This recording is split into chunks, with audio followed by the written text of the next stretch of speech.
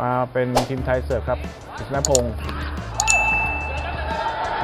ตั้งไม่ได้ไกลไปเยอะครับต้องแก้มาก่อน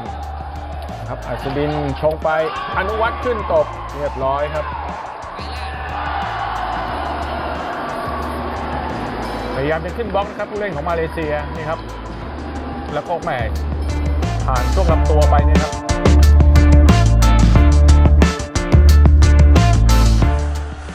นี่คือดอลลาร์โยน มันเปิดมาเกษตรเปิดเขาได้ตรีพงศ์ยกไปสวยครับแม่ขึ้นฟาดเร็วเลยครับอนุวัฒน์เขาต้องแก้ไขมาแล้วครับอนุวัฒน์ให้ตรีพงศ์ยกให้แล้วเอาตรวจสอบใต้ลูกเยี่ยมมากครับอืมต้องชมมาเลเซียด้วยครับ จังหวะนี้แคะมานี่เราน่าจะได้แต้มแบบไม่ต้องเหนื่อยถึงจังหวะสองครับฟาดครั้งแรกของมรวัชชัยชนะนี่เขาแก้มาเนี่ยครับแต่ยังไงก็แต้มของเรานะครับ ขึ้นอีกครั้งหนึ่งไม่เหลือนะครับ โนอัชมันครับพยายามที่จะขึ้นไปบล็อกนะแต่ว่าอนุวัฒชัยชนะเห็นอยู่แล้ว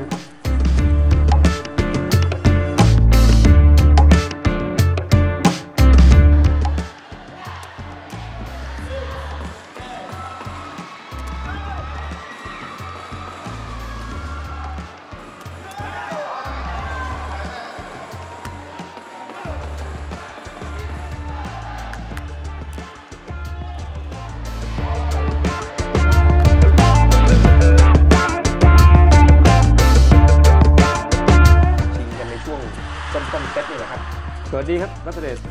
รีพงศ์ยกมาให้อนุวัฒน์ขึ้นอีกครั้งหนึ่งก็เรียบร้อยครับ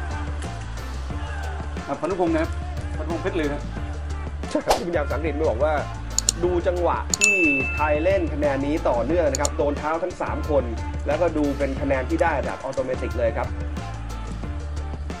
รับคนหนึ่งอีกคนหนึ่งตั้งแล้วก็อีกคนหนึ่งฟาดนะครับ เล่นเป็นเหมือนกับเป็นเป็นรูทีนเลยครับ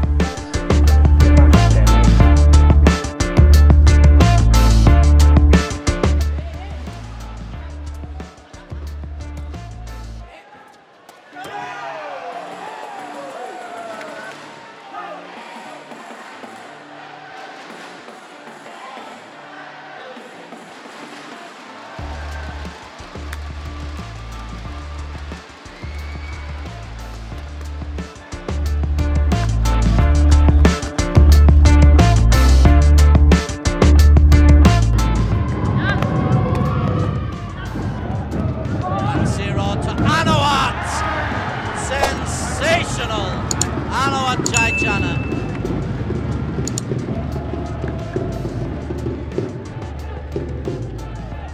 Just his second spike winner of the match, but boy, he had to really work for this one. Look at the power, look at the angle. Look at the athleticism. Look at the landing. Look at the energy. Look at how much that meant to him.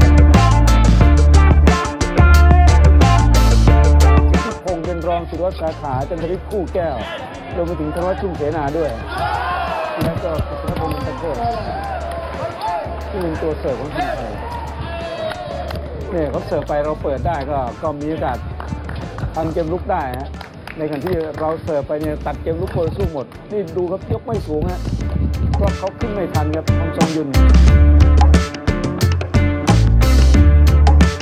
เจ็ดต่อเก้าครับมาเลเซียตามอยู่ แล้วก็เป็นฝ่ายเสิร์ฟ เสิร์ฟหยอดมาครับสดินตั้งมาอนุวัฒน์เขาฟาดลงไปน่าชมอัศดินครับ เป็นล้วงมาเลยนะครับ จังหวะที่เขาเสิร์ฟหยอดมานี่ครับมาชมครับ นี่ครับ โอ้โหเอื้อมตัวไปแล้วก็งัดขึ้นมาแล้วก็เป็นอนุวัฒน์ฟาดลงไปโล่งๆ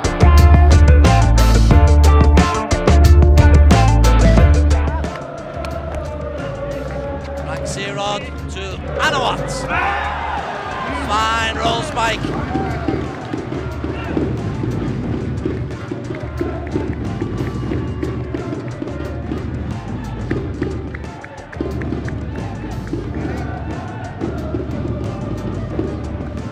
First spike winner.